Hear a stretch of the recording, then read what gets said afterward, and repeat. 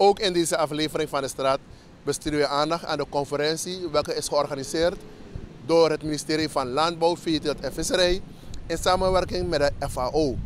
Een conferentie die zie bij het doel dat verschillende man voor verschillende kondre en kenke praxeri voor een plan voor zorgen dat je sara sara na een visie die gegarandeerd.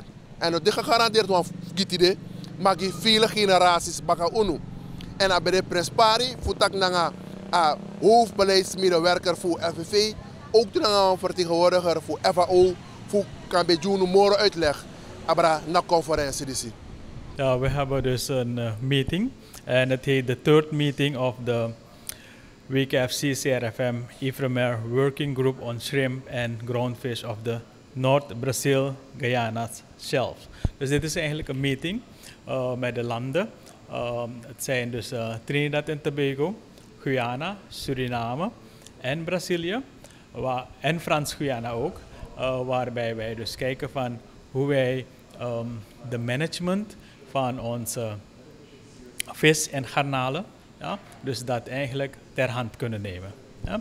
En dit is eigenlijk de derde meeting, waarbij wij dus gaan kijken van uh, wat is er tot nu toe bereikt, ja, en wat zullen de stappen zijn die we verder zullen ondernemen. Tot op dit moment is er dus data verzameld ja, van de verschillende landen. Uh, de data is gedeeld. Dus uh, wij gaan dus vandaag kijken van uh, wat zegt eigenlijk de data. Dus de cijfers die verzameld zijn, wat geven zij eigenlijk weer? kunnen we zeggen van is er een vooruitgang, is er een achteruitgang. Ja? Maar pas aan de hand van de cijfers die gepresenteerd zullen worden, zouden wij dus daarvan kunnen zeggen van wat het precies is. Ja. We praten over het managen van garnalen en van vis. Uh, wat bedoelen we concreet daarmee? Ja, kijk, uh, wij streven naar om uh, zo duurzaam mogelijk ja, onze visserijhulpbronnen te exploiteren. Um, het moet zo zijn dus dat wij niet alleen nu vis kunnen eten, maar ook onze kindskinderen, maar ook daarna uh, deze uh, belangrijke eiwitbron ja, die er is, ja, die gegeven is, dat wij dus dat uh, kunnen gebruiken ten behoeve van de mens. Ja, en hoe ziet de situatie er nu uit, zeg maar in de regio, althans de landen die participeren, maar meer nog voor Suriname? Ja, um, voor Suriname, wij hebben dus een, laten we zeggen, een goede regelgeving op dit gebied. Uh, wij zijn een van de landen waarbij wij een vergunningensysteem hebben. Ja? En wij hebben ook dus dat wij kunnen monitoren van waar onze mensen vissen, et cetera. En voor Suriname um, ziet er tot nu toe um, goed uit. Ja? Um, natuurlijk, we zeggen het ziet er goed uit, maar wij moeten ervoor waken dat het ook goed blijft. Ja? Het moet niet zo zijn van je zegt het is goed ja? en dan zeg je van nee, dan kan je uh, meer vergunningen of wat dan ook gaan uitgeven. Maar we moeten waken, dus dat wij uh, onze visserijhulpbronnen bewaken. Ja. En hoe staat het in de regio? Uh, met de regio, ja, um, misschien niet zo goed als Suriname, ja, maar zij streven ook ernaar. Dus daarom ook deze meeting, zodat wij kunnen kijken hoe wij gezamenlijk zo'n visserijmanagementplan, een regionaal visserijmanagementplan managementplan kunnen komen. Ja. Uh, we weten dat we althans bepaalde uitdagingen hebben als we praten over illegale visserij, als we praten over zaken die niet door de beugel kunnen. Dat is één. Maar twee, weten we nog dat een tijdje CIL had aangegeven dat, ze, dat er een tekort is, zou, zou zijn aan um, CBOP-garnalen. Hoe staat het precies daarmee? Kijk, voor de CBOP-garnalen is er een manage, Fisheries Management Plan. Ja? En dat wordt heel goed gemonitord. Ja? En wij zijn sinds uh, 2011 ja, um, gecertificeerd als te zijn uh, MSC gecertificeerd, waarbij wij een van de weinige landen zijn in de regio die zo'n certificering heeft. Um, laatst, ik denk dit jaar nog, is Guyana dus ook gecertificeerd. Maar Suriname is een van de eerste landen van de regio die gecertificeerd is.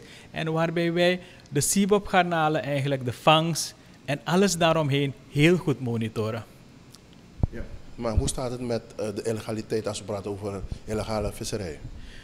Daarvoor zijn we ook doende oplossingen te zoeken. wij zijn al begonnen met een vessel monitoring. Dus dat is een systeem waarbij je eigenlijk kan natrekken van waar jouw vaartuigen vissen. Ja? In welke zones ze vissen. En dat alles loopt. u weet, ehm, niet alles gebeurt in één dag. Ja?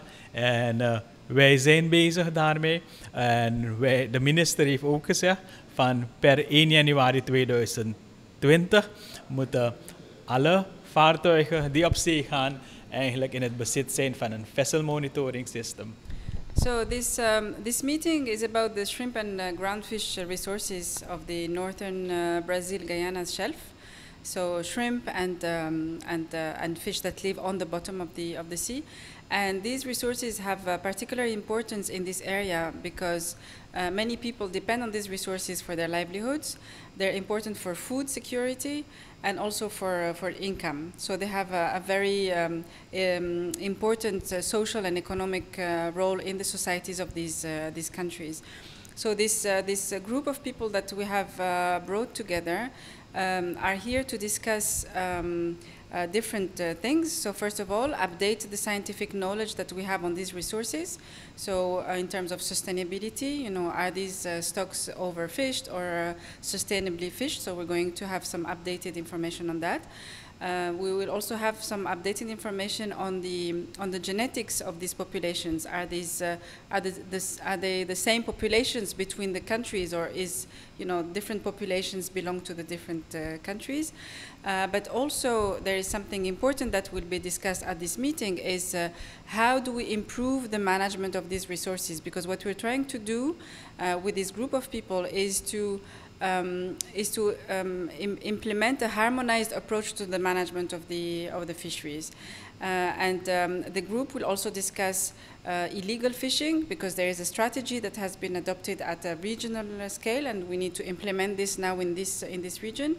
And also importantly, uh, the role of women in the, in the sector. You know, at global scale, half of the workforce in the fishery sector are, are women. Um, so we have also some updated um, uh, information on, uh, on that that will be discussed at the, at the meeting.